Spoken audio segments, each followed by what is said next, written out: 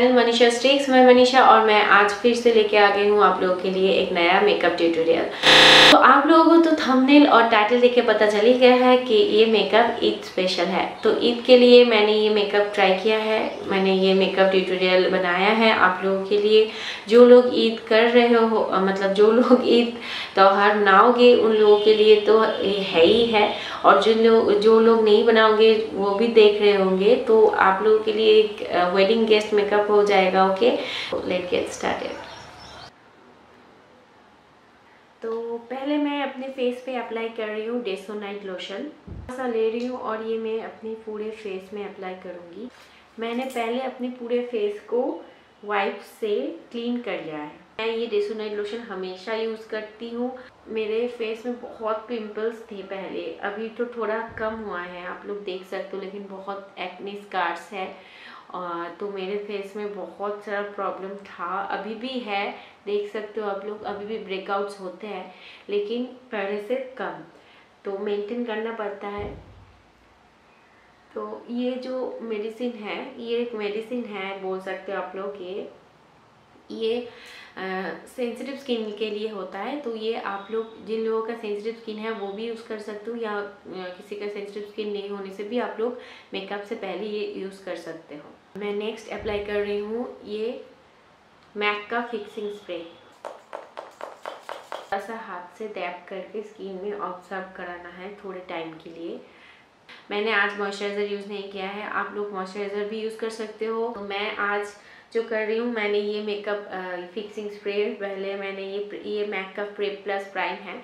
तो इससे प्राइम का भी काम करता है। इससे अपने फेस को हाइड्रेट कर लिया है प्राइम कर लिया है। तो नेक्स्ट मैं अप्लाई करने वाली हूँ नायका का ये, नायका का प्रेप मी आप प्राइमर है। ये सिलिकॉन बेस्ड प्राइमर है। इतना सा ले लिया एकदम कम है। इसको सिर्फ़ अपने टी जोन एरिया में टी जोन एरिया में मैं अप्लाई कर दूँगी। इससे आपके ओपन पोर्स एकदम क्लोज नहीं होता है लेकिन मिनिमाइज हो जाता है। तो नेक्स्ट मैं कंसीलर यूज़ करने वाली हूँ टार्ट का।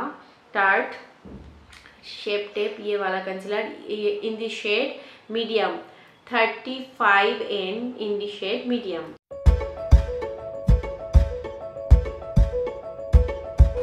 तो अभी मैं इसको ब्लेंड करूँगी ब्यूटी ब्लेंडर से। तो मैं यहाँ पर ले रही हूँ ये वाला ब्यूटी ब्लेंडर ये रियल टेक्निक का ब्यूटी ब्लेंडर है।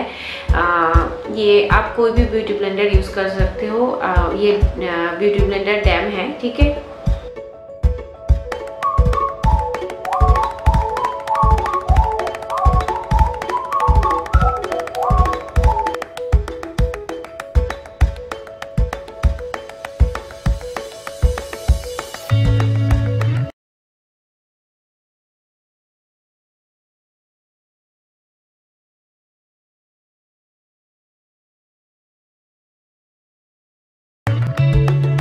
अभी मैं इसको ब्लेंड करने वाली हूँ। मैं वही वाला डैम ब्यूटी ब्लेंडर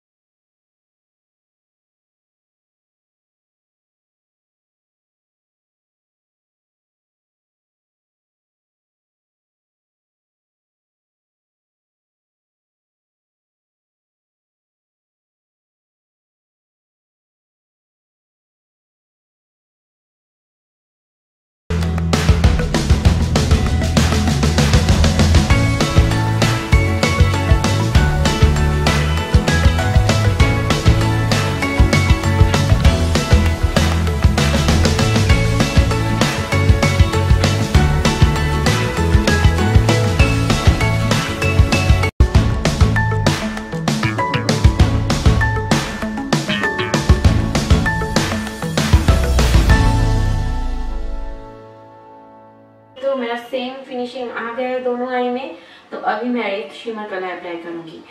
ये वाला कलर मैं अप्लाई करूँगी आज ओके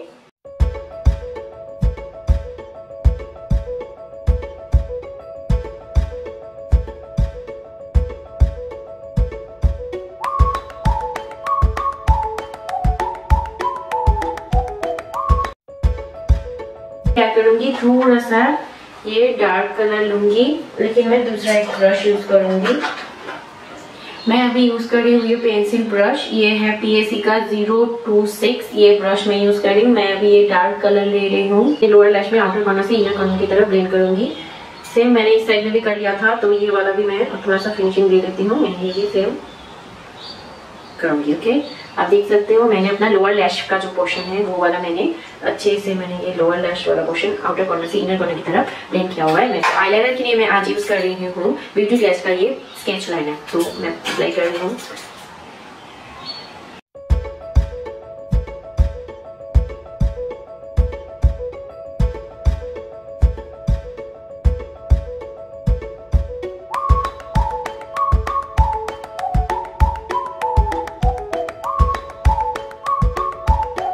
लिए मैं यूज़ करने वाली हूँ फेसिस का ये वाला मुश्करा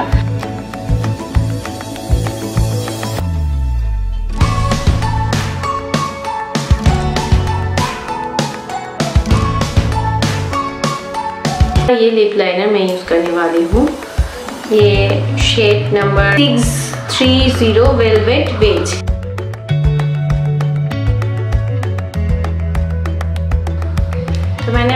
draw कर लिया है। अभी मैं यूज़ करने वाली हूँ लिपस्टिक सुगर का ये लिपस्टिक स्मच मी नॉट ये लिपस्टिक ये शेड है ज़ीरो फोर प्लाम यम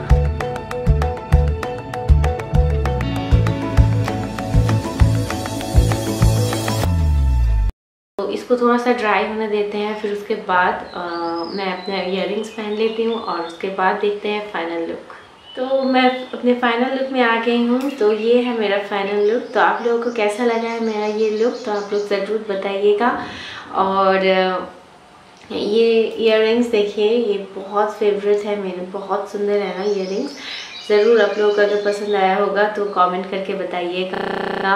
और ये है मेरा ईद का सिंपल एलिगेंट एंड पीछे एक लुक तो आप लोगों को ये लुक कैसा लगा ज़रूर मुझे कमेंट करके बताइएगा और ज़रूर आप लोग ईद में ये लुक ट्राई कीजिएगा। इसके बाद मैं और एक ईद का लुक आप लोगों के साथ शेयर करूँगी। उसमें मैं थोड़ा सा हेवी दिखाऊँगी थोड़ा सा ग्लॉसी थोड़ा सा ग्लिटरी ऐसा कुछ लुक दिखाऊँगी। मैं बंगाली हूँ तो आई मैरिड तो इसीलिए मैंने सिंदूर लगाया हुआ है तो ईद के लिए जो आप लोग मैरिड या अनमेरिड होंगे तो आप लोग तो सिंदूर नहीं यूज़ करते हो। तो मेरे लुक के साथ सिंदूर मैंने वेयर किया हुआ है क्योंकि मैं करती हूँ। चलिए, अगर आप लोगों ने अभी तक मेरे चैनल को सब्सक्राइब नहीं किया है तो क्या कर रहे हो गाइज़ प्लीज़ कर दो। त्यौहार तो है तो आप लोग ज़रूर एंजॉय कीजिए, घर में रहिए सेफ़ रहिए मास्क पहनिए हैंड सैनिटाइज़र यूज़ कीजिए और अपने लोगों को लोगों में ही आप लोग ये त्यौहार को मनाइए और खूब एंजॉय कीजिए। लेकिन ज़्यादा गैदरिंग मत कीजिएगा, क्योंकि अभी जो मतलब सिचुएशन है, उसको हम लोग सब मिल के हम लोगों को ओवरकम करना है। तो चलिए, आज के लिए इतना ही। नेक्स्ट डे फिर से मुलाकात होगी। बाय